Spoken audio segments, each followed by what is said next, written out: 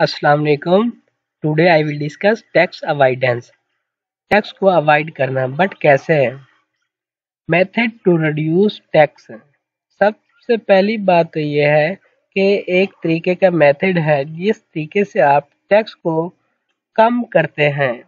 सबसे पहले तरीका जो लिखा जाता है टैक्स कम करने का, ये लीगल तो है बट अनइथिकल है।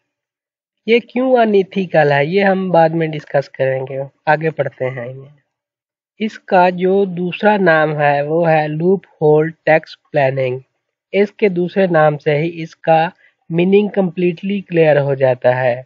देखिए, आप अपने टैक्स को प्लान कर रहे हैं बट किस तरीके से कर रहे हैं? लूप होल फाइंड आउट करके। लूप होल का मतलब होता है जो कमियाँ रह जाती हैं, वो आप कह सकते हैं loophole It is art of dodging tax authorities without breaking law. आप लॉ को ब्रेक नहीं कर रहे हैं बट जो टैक्स अथॉरिटीज हैं, इनको टैक्स कम दे रहे हैं। जितना बनता था, इतना दे नहीं रहे। कोई ना कोई कमियों का फ़ायदा उठा रहे हैं।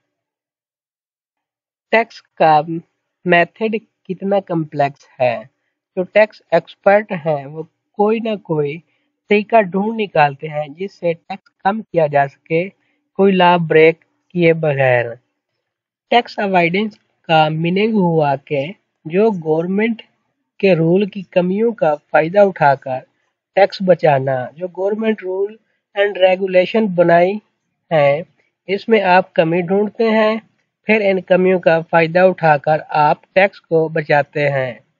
सो ये मीनिंग हुआ टैक्स अवॉइडेंस का। अब हम एग्ज़ाम्पल देखते हैं जिससे इसका मीनिंग कंप्लीट हो जाएगा। एक पर्सन है जिसकी बिज़नेस इनकम है दो लाख। हाउस प्रॉपर्टी इनकम है एक लाख पचास हज़ार। टोटल इनकम इसकी हो गई तीन लाख पचास हज़ार। अब गवर्नमेंट ने जो टैक्स लगाया है इनकम पे, वो है ढाई लाख के ऊपर जिसकी इनकम होगी, उसको टैक्स देना पड़ेगा। अब जो हस्बैंड है, एक पर्सन है, उसकी इनकम तीन लाख पचास हज़ार है। उसको टैक्स देना पड़ता है। और जो उसकी वाइफ है, बीवी है, उसकी इनकम है एक लाख। अब वो देखता है, मुझे टैक्स देना पड़ता है, मेरी बीवी को टैक्स नहीं देना पड़ता। इससे बचने के लिए वो अपनी हाउस प्रॉपर्टी इनकम है, एक लाख पचास हज़ार, वो बीवी के नाम पे शो करवा देता है, ये मेरी नहीं, मेरी बीवी की इनकम है। अब बीवी की इनकम हो गई दो लाख पचास हज़ार। अब बीवी को भी टैक्स नहीं देना पड़ेगा क्योंकि अढ़ाई लाख है, अढ़ाई लाख के ऊपर टैक्स है लगना है। और जो हस्बैंड है, उसको भी टैक्स नहीं देना पड़ेगा। उसका पहले साढ़े तीन लाख था, अब डेढ़ लाख उसने हाउस प्रॉपर्टी का बीवी के नाम से शो करवा दिया है। दो लाख पड़ा, बाकी बचा तो उस पर टैक्स नहीं लगेगा। तो उन्होंने रूल इसका फ़ायदा उठाया, जिससे इस पर टैक्स जो लगा था, वो तकसीम हो गया, बट गया।